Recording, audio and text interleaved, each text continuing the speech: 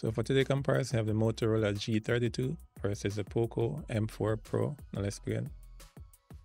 So for screen type, AMOLED display, a lot better than the IPS, even though the AMOLED might tends to burn out a bit faster.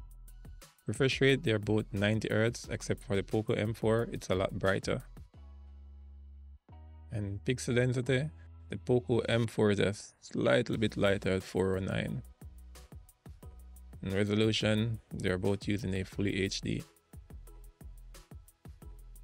If an AMOLED display, the Poco will be spot on. Screen size, they're both the same, 6.5. Don't say 6.43 because you won't know the difference. Protection is better in the Poco M4. AMOLED display, the Poco M4 has a clearly better screen of a performance.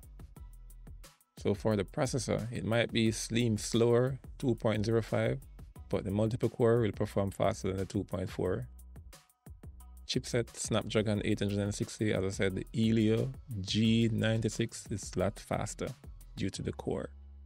GPU, the Mali G57 again, chipset, superb quality, matching with the AMOLED display screen. System, they're both 4G out of the box, Android 12 in the Motorola and battery they're both 5000 milliamp they'll last the same similar timing.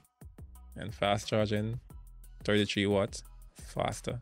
Not by a lot though. Maybe one minute faster within full charge. But the better performance go to the poco m4 now for the camera.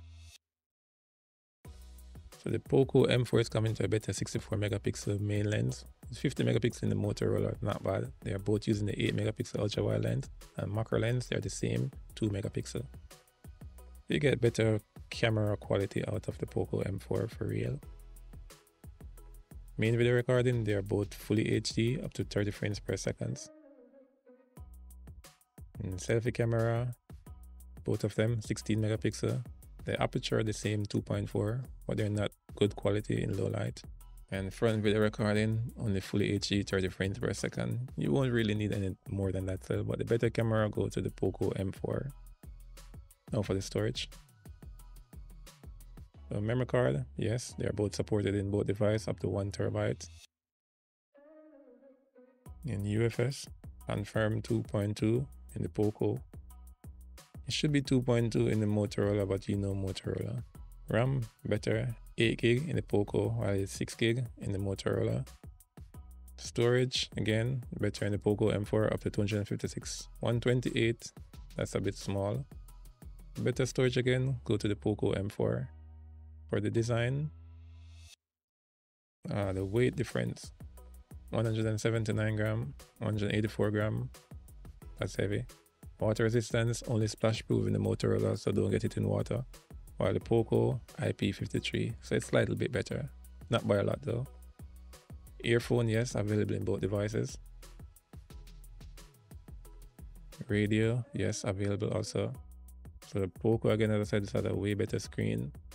Looking good with the Poco. NFC, yes, available in both devices. And fingerprints are located on the side of both of the device. One thing with this side sensor, you tend to be touching it a lot. Bluetooth faster than the Motorola 5.2.